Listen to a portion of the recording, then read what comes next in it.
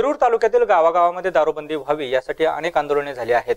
गावांच्या ग्रामसभेमध्ये दारूबंदीचे ठराव घेतले गेले आहेत. मात्र शिरूर तालुक्याची दारूबंदी ही कागदावरच राहिली आणि आता तर या लोकांकडून पोलिसांना देखील दमदाटी आणि हाणामारी होत असल्याचे दिसून येत आहे. पाहूयात या संदर्भातील ही बातमी.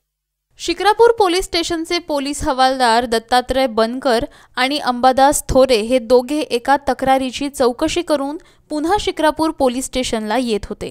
त्या दरम्यान त्यांना एक युवक पोत्यामध्ये दारूचे बॉक्स घेऊन जात असताना दिसला. तेव्हा त्यांना त्या पोत्यामध्ये देशी आणि विदेशी दारूच्या बाटल्या आढळून आल्या. पोलिसांनी तो माल जप्त करत दारूच्या बाटल्या घेऊन जाणाऱ्या काळूराम धुमाळ या युवकाला ताब्यात घेऊन पोलीस स्टेशनला नेले. दरम्यान त्या युवकाचे वडील तुकाराम धुमाळ आणि आई सुनीता धुमाळ हे स्टेशनमध्ये आले आणि त्यांनी कारवाई करणाऱ्या पोलिसांना धक्काबुक्की करत दमदाटी केली. पोलीस अंबादास थोरे यास मारहाण करण्यास सुरुवात केली. यामध्ये काळूराम धुमाळ हा तेथून पळून गेला. याबाबत शिक्रापूर पोलीस स्टेशनचे पोलीस कर्मचारी अंबादास थोरे यांनी शिक्रापूर पोलीस स्टेशन येथे फिर्याद दिली. या घटनेचा पुढील तपास पोलीस करत आहेत. पोलीस हवालदार बनकर आणि पोलीस कॉन्स्टेबल थोरे हे एका तपासकामी जातेगाव परिसरात गेले होते आणि परत येत असताना कारखान्याच्या समोर एका किराणा दुकानाजवळ एक इसम गोणीमध्ये संशयास्पद काही बॉक्स घेऊन जाताना दिसला.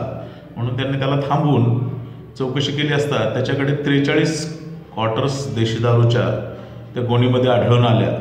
त्याचं नाव काळूराम तुकाराम धुमाळ. आणि त्याला विचारपूस करत असतानाच त्याचे आईवडील त्या ठिकाणी आले.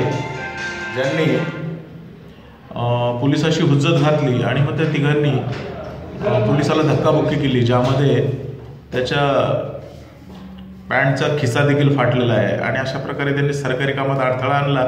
ज्यावेळेस आरोपी त्या ठिकाणाहून पळून गेला.